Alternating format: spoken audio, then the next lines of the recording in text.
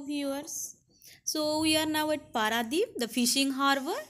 And this is the second time I am visiting here. I had shown you the entry point and this is the go down. And these are the crabs and prawn I have already shown you there.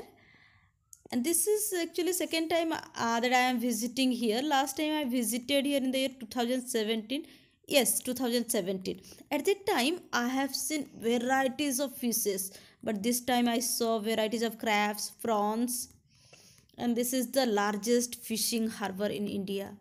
And uh, now we are going to see the uh, coast of that part. And here you can find a great number of sieves with which the fishermen go for fishing deep into the sea.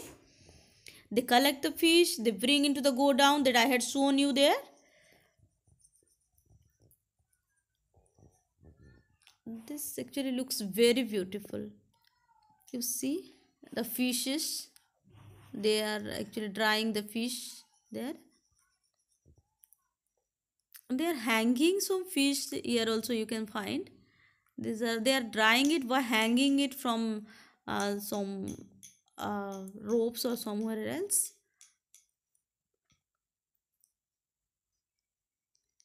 These are the great number of sheeps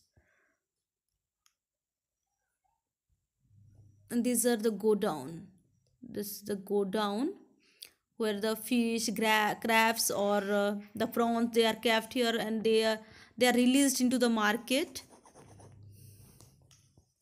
And uh, you can find here the dried fish also. These are the dried fish.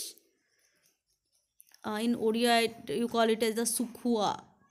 So these are actually taken from here to the open uh, area that is known as khala and there it is kept and then uh, it is released there for uh, for marketing purpose. Uh, it is released to the market there.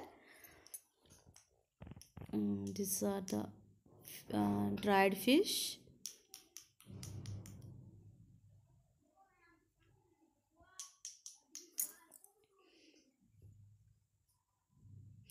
And finally these are the number of herons the herons they are very fond of fish. So you can find there a large number of herons here. And it's me shooting everything that we are watching here. So enjoy the video and please like it and subscribe it and increase my subscriber